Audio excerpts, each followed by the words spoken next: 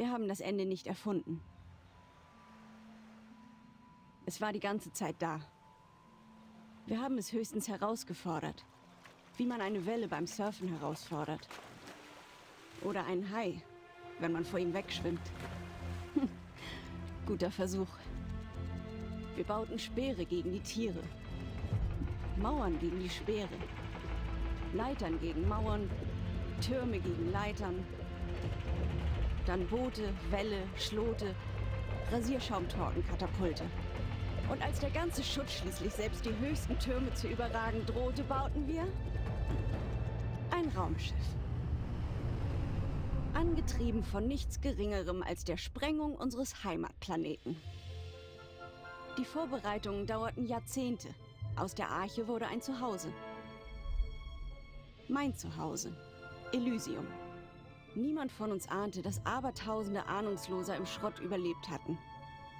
Das Symbol der Hoffnung wurde zum Damoklesschwert für Deponia. Zum Glück kam es anders. Einer jener Ahnungslosen durchkreuzte den Plan. Er rettete Deponia und alle, die darauf zurückgelassen wurden. Und er rettete mich. Indem er sich fallen ließ. Ende.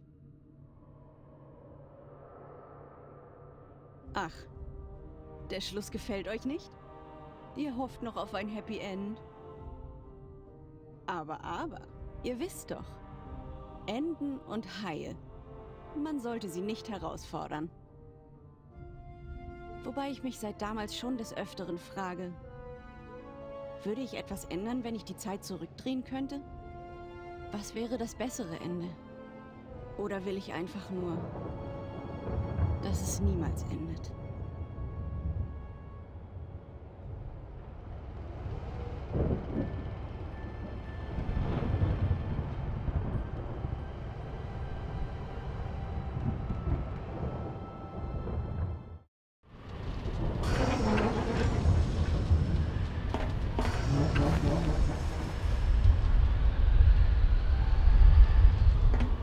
Dieser Ort war die Hölle, aber welcher war es nicht in diesen Tagen?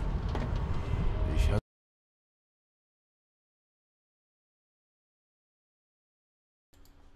Ja. Ähm, wenigstens hatten wir so die gefräßigen Fuelox abhängen können. Ich musste mich beeilen. ah, okay, jetzt hätte ich auch noch einstellen können. Ähm, Problem ist bei dem Spiel, dass wenn ich hier rausgehe auf dem Desktop, dass der das nicht macht. Ähm, willkommen zu Deponia 4 Doomsday. Ähm, ich habe jetzt die vorherigen Teile nicht gespielt. Das macht aber nichts. Möchtest du das Tutorial spielen? Natürlich möchte ich das Tutorial spielen. Willkommen im Tutorial. Das Tutorial wird dir Schritt für Schritt die Steuerung des Spiels beibringen. Benutze die Schaltfläche am rechten Bildschirmrand, um die Tutorial-Nachrichten erneut anzuzeigen. Benutze als erstes die Hotspot-Taste, um interessante Objekte zu finden. Mit ihr werden alle interaktiven Objekte einer Szene hervorgehoben. Halte hierzu die Mausrad-Taste oder die Leertaste gedrückt. Okay, die Mausrad-Taste kann ich nicht drücken, weil die ist bei mir defekt. Ich habe sie immer noch nicht gewechselt. Verdammt. Die Leertaste also, okay. Leertaste. Ähm, vereiste Werkzeugkasten, die Edward Snowman ähm, und Leiter. Dein Cursor besteht aus zwei Zahnrädern, einen großen und einen kleinen Zahnrad. Das große Zahnrad steht für die Linksklickaktion Interagieren. Das kleine für die Rechtsklickaktion Ansehen.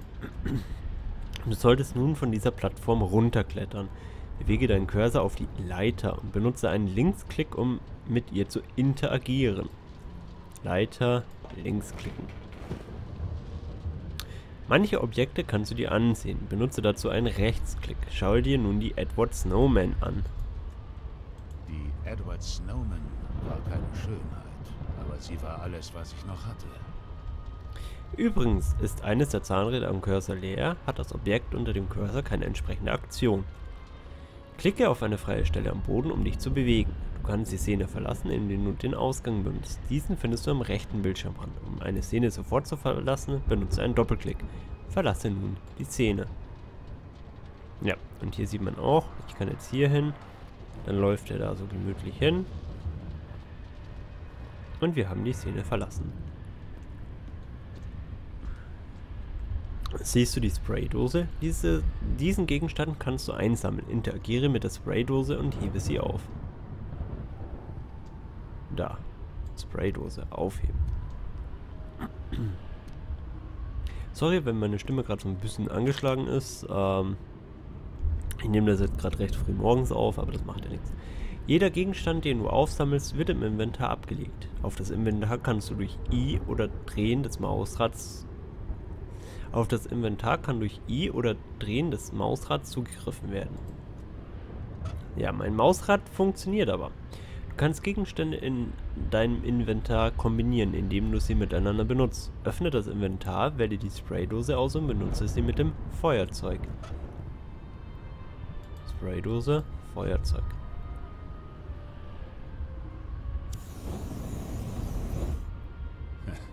Fetzig.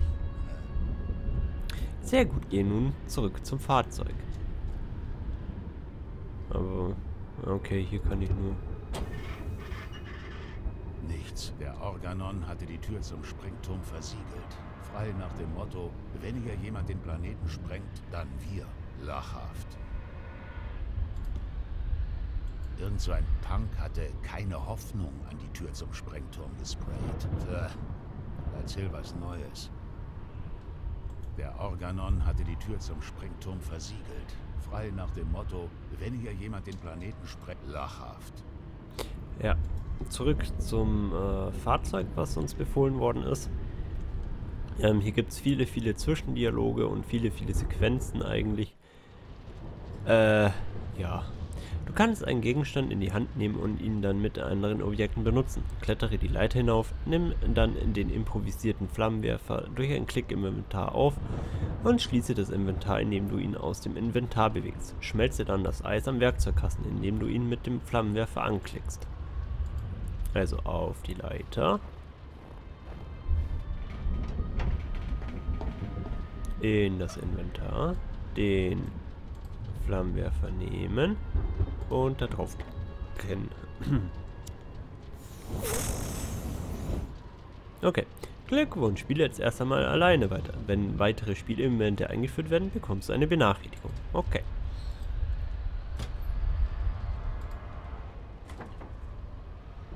Schätze mal ähm, Schneidbrenner und mehr nicht. Haben wir sonst noch was? Nope. Okay, das heißt, wir können wieder zurückgehen. Schätze ich jetzt mal. Und gehen mal hier hin.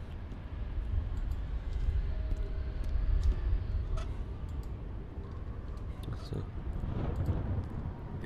Riegel sah nicht so aus, als würde er sich zersägen lassen. Aber ich war so weit gekommen, ich würde es nun auch zu Ende bringen. Ganz zu Ende.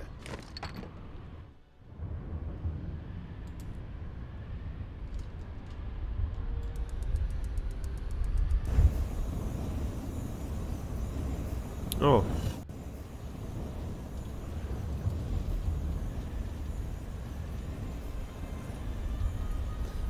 Moment, hier, da, da, da. Ich muss schnell sein. What the fuck?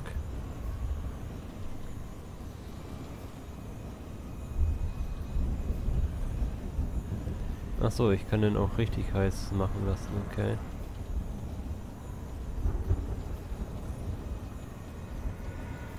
Das Siegel zu durchtrennen hatte sich als leichter herausgestellt als gedacht. Fast wünschte ich mir, es hätte länger gedauert. Aber nun war der Weg frei. Na dann. In der Szene ist ein Kraftbalken eingeblendet. Hier musst du so schnell wie möglich klicken. Viel Erfolg.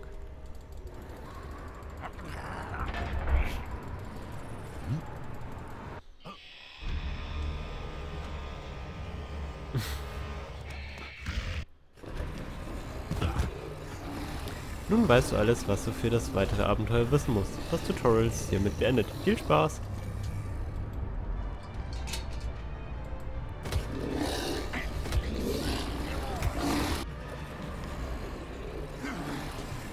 Achso, ich darf wieder drücken.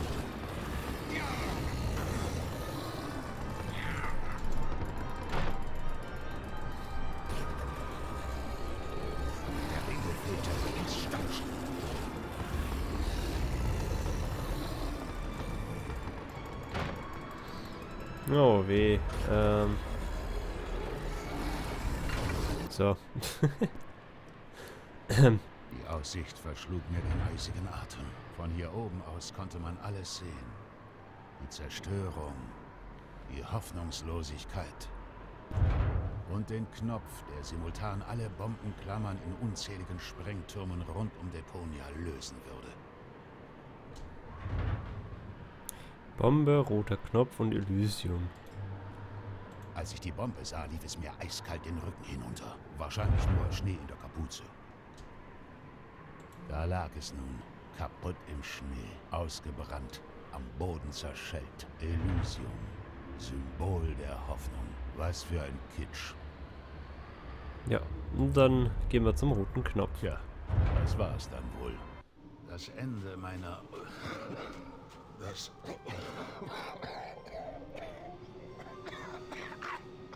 Frosch im Hals.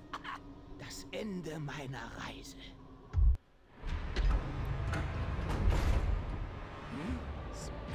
Mensch, Schmeißdreck. Jetzt ist sogar schon das Armageddon eingerostet. Na, warte. So, dann klettern wir mal auf die Bombe. Wartet, hätte ich Kuchen gemacht.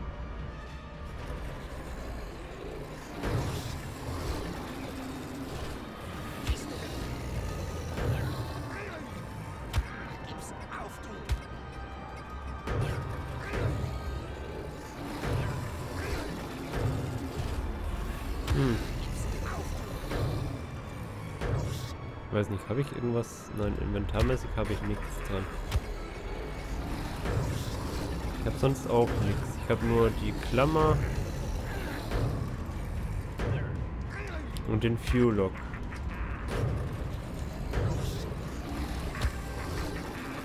Fuel-Lock-Folter.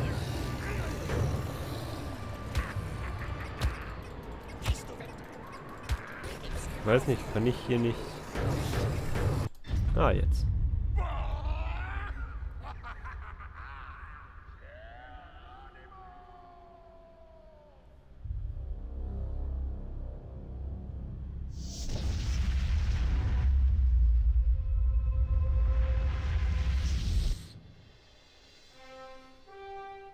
Deponia Doomsday.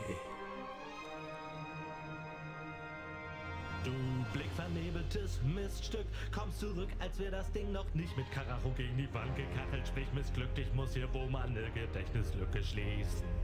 Leben im Dreck hat dir nicht geschmeckt, hast du nicht gecheckt, dass im Endeffekt alle Flüsse abwärts fließen, wie doppelt und dreifach bewiesen. Es ist doch längst evident, es gibt hier kein Happy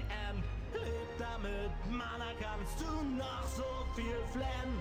Es ist vorbei und ich sehe keinen Sinn darin, Gedankengängen nachzuhängen. Wie geht da noch was und was wäre wohl, wenn?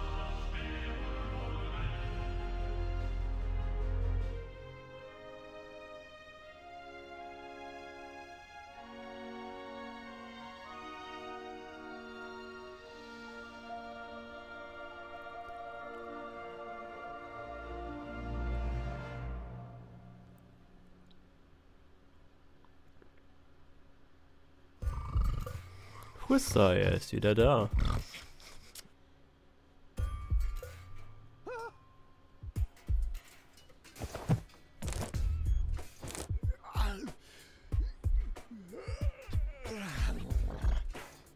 Was für ein Albtraum. Ich war alt und hatte einen Schnurrbart und klang wie Frank Zander. Außerdem waren alle meine Freunde tot. Elysium war abgestürzt und ich habe Deponia in die Luft gesprengt. Entsetzlich. Ein Bild des Grauens. Ich mit einem Kotzbalken im Gesicht. Na, zum Glück ist ja alles wieder wie vorher. Ich kann es kaum erwarten, meinem Schnucki-Hasi Toni davon zu berichten. Ha. Und damit war es das für die erste Folge. Ähm, ja, viel Tutorial am Anfang halt, wie man es halt so kennt. Das Feuer ist aus. Kein Wunder, dass ich von nuklearem Winter geträumt habe. Das Feuer ist aus und äh, das Ding raucht. Okay. Ähm, wir sehen uns im nächsten Part. Bis dahin. Tschüss und Viel Spaß.